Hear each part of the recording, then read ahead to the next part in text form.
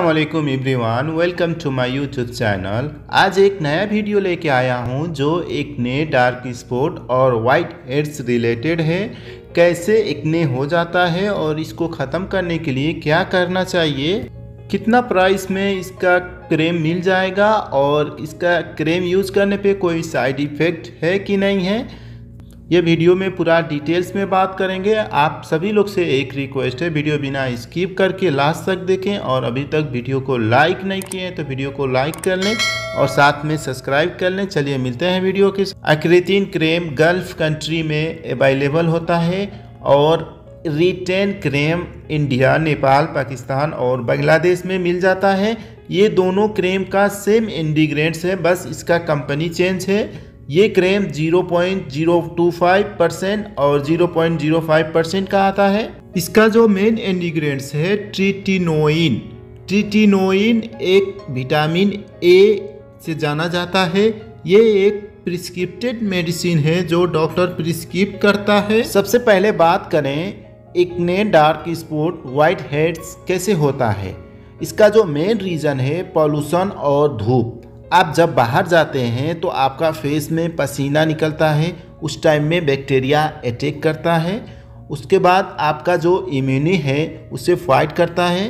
अगर आपको ट्रिटिनोइन से एलर्जी है तो प्लीज़ ये नहीं यूज़ करें।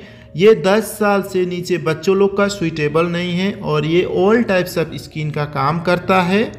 दिन में आपको एक दफ़ा बस यूज़ करना है और ये नाइट टाइम के लिए बेस्ट होगा। अगर आप दिन में भी यूज़ करना खोजते हैं तो कोई मुश्किल नहीं, आप यूज़ कर सकते हैं, लेकिन उसके साथ आपको सन ब्लॉक क्रेम यूज़ करना पड़ेगा, जो एस पी एफ़ थर्टी तक का होना चाहिए। ये क्रेम जो एफेक्टेड एरिया है, यानी आपका जहाँ इकने हैं, वहाँ पर बस यूज़ करें, और ये medicine six two eight week तक आप यूज़ कर सकते हैं। आपका स्किन इम्प्रूव होने में टाइम लगेगा, कुछ दिन आपको वेट करना पड़ेगा, और ये क्रेम जो है आप जब ओपन कर देंगे तो आप इसको थ्री मंथ तक यूज़ कर सकते हैं। उससे ज़्यादा नहीं यूज़ करें। अगर छः से आठ हफ़्ता तक में यूज़ करने पे भी आपको रिज़ल्ट नहीं मिला तो आपको इसको बिल्कुल स्टॉप कर देना है। नहीं यूज़ करना है और आप डॉक्टर या फार्मासिस्ट से कंसल्टेट कर लें क्यों? आपका जो इकने है, वो अच्छा नहीं हो रहा है।